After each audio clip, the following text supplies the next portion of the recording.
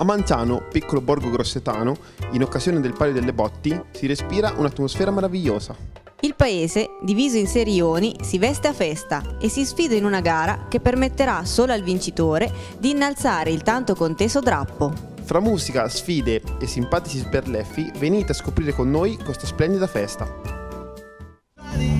Ho una condizione di medicina Due bicchieri del pranzo di ieri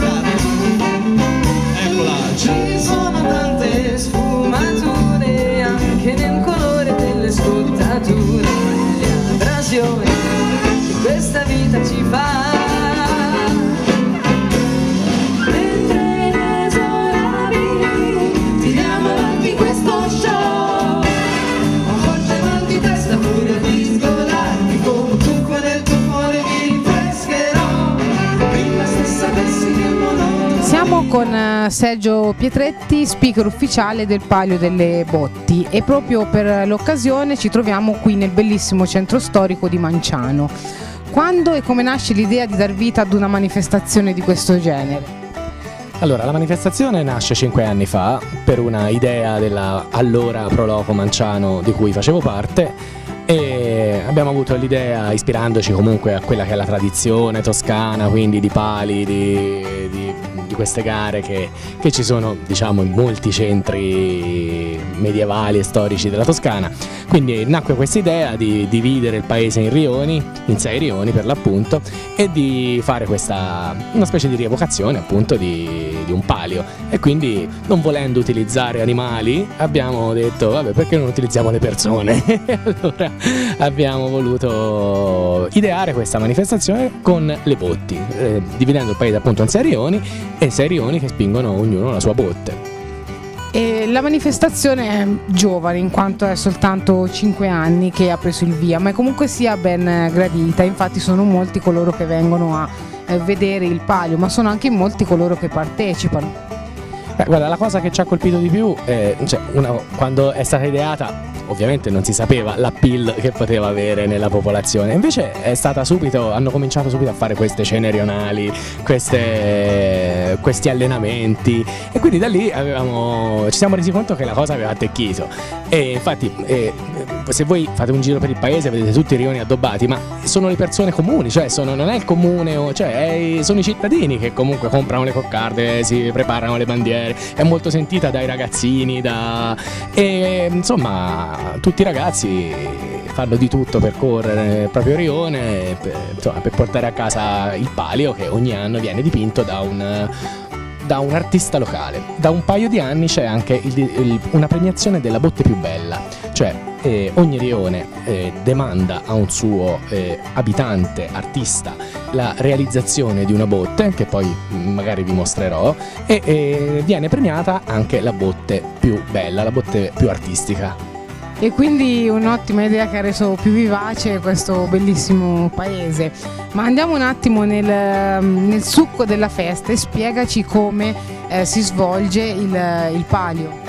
Bene, allora il palio, come vi ho prima detto, è, eh, Manciano è diviso in sei rioni. I rioni sono il borgo, il cassero, l'imposto, le fonti, il monumento e il mulinello. Allora, eh, ogni squadra, ogni rione è formato da otto bottai, si chiamano bottai, coloro che spingono le botti. E il circuito è, eh, viene fatto due volte, sono due giri e praticamente per ogni giro è fatto da quattro bottai, due e poi la staffetta di due che si danno sempre il cambio. Praticamente cosa succede? Vengono adesso, tra poco vedrete, eh, sorteggiate le- gli accoppiamenti, quindi so- saranno tre accoppiamenti e i, i vincenti accedono immediatamente alla semifinale. Il miglior tempo dei- della perdente va comunque in semifinale. Poi c'è la semifinale appunto tra le quattro rimaste e poi la finale tra le due rimaste e insomma ne rimane soltanto una e quella si aggiudica il cencio e il palio appunto che quest'anno è stato dipinto da una grande artista di Manciano che si chiama Gemma Detti eh, che è anche piuttosto famosa avendo fatto delle mm, manifestazioni anche a Roma, insomma è una- un'artista piuttosto quotata, ecco, infatti il, il palio di quest'anno è veramente bello. E quindi nulla, eh, vinca il migliore. eh. Allora, questo è il cencio di quest'anno, il palio 2014 dipinto dall'artista mancianese Gemma Detti. Questo sarà quello che si contenderanno i serioni tra poco. Questa è la botte del rione Borgo che è stata dipinta dall'artista Bozena Kroll. È un'artista polacca che però vive qui a Manciano. Quella che vedete dietro la- era la botte dell'anno scorso, quella in gara è questa davanti. Se ci spostiamo vediamo la botte dell'imposto che è stata dipinta dall'artista mancianese Renzo Cappelletti. Quest'altra era la botte dell'anno scorso, questa è quella che, che concorre, questa avanti.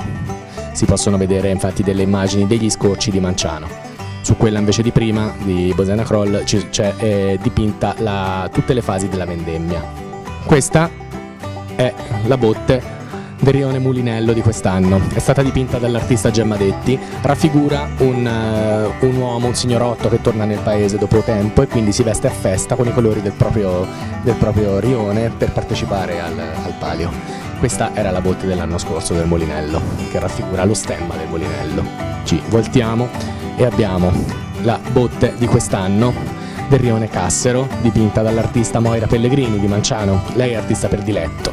E qui possiamo vedere tutti, eh, la fauna eh, tipica della, della Maremma, quindi possiamo vedere il cane, il fagiano. Ecco, è una botte che un pochino esula da- da- da- altri- dagli altri tipi. Quella accanto è la botte che l'anno scorso è stata premiata come miglior botte, sempre dipinta da Moira Pellegrini e l'anno scorso il Cassero vinse, si aggiudicò eh, come rione della botte più bella con questa botte qua abbiamo invece le eh, botti del rione Monumento. Questa è la botte che concorre quest'anno, dipinta dall'artista mancianese Neriana Pellegrini. Ecco qua si vedono comunque degli scorci lo stesso del paese di Manciano e questa era la, la botte che concorse l'anno scorso. Questa, come ultima, è la botte del rione Fonti, dipinta dall'artista mancianese Alberto Bernardini.